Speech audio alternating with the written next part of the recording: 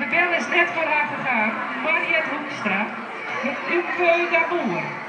Ze rijdt hier een thuiswedstrijd vandaag in Franeker.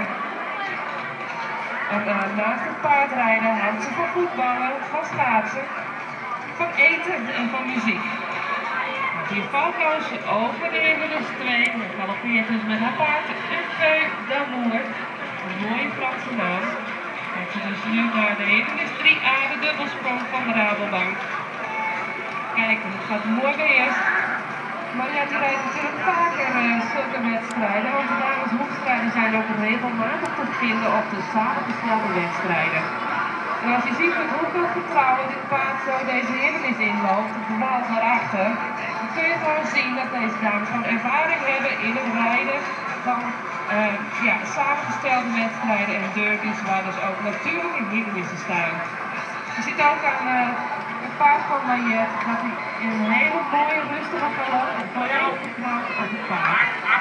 Op dit moment over de hindernis en dan gaat hij richting het bootje.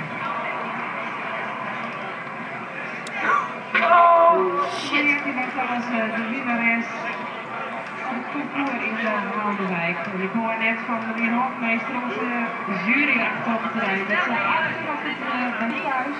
Op dit moment zit ze de Oldenhoven. Nou, maar de die brug ook echt wel genemen. Daar komt ze. En die zit terug op het terrein. Met vier strafpunten op te tellen gaan we dus uh, nu linksom richting de dubbelsprong.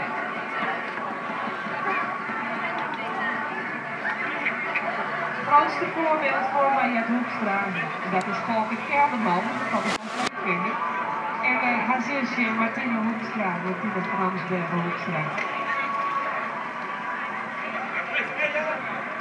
En daar komt ze dus weer terug voor de hoofdtent, voor de erelogenaars. Gaat ze door de waterbak of gaat ze er langs? Ik denk dat deze dame er dwars doorheen gaat, jawel.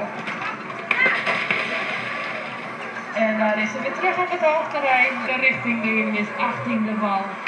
Het lijkt op allemaal zo mooi beheerst en rustig te gaan. En dat zien we toch heel graag. Is door de is 18 kansloos heen gekomen. En probeert het nu over de hindernis met de klaspakker. Die heeft ze vast van de vader gekregen. Op de start die kun je bij hem oprijden. En dan gaan we naar de laatste hindernis met 4